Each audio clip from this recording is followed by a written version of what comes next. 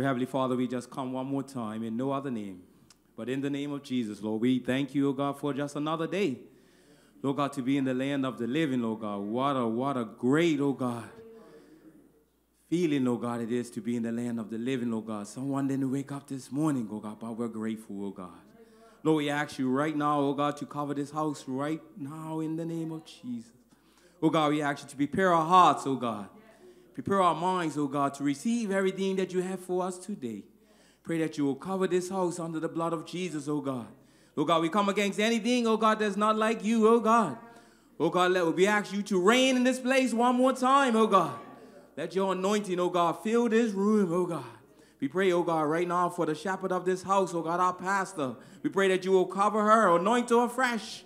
Oh God, as she speaks, oh God, your word, oh God, let it, oh God, accomplish everything that you set it out to do, oh God. That at the end of the day, oh God, someone might cry out, What must I do to be saved, oh God? Change someone's life today, oh God. Oh God, change someone's heart, oh God. We pray that you will heal some soul this morning. Lord God, we just thank you for the covering, oh God.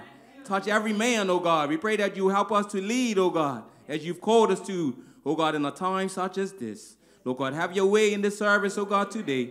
And we, we be careful to give you praise, glory, and honor. And this we ask this in no other name but in the name of Jesus. Amen and amen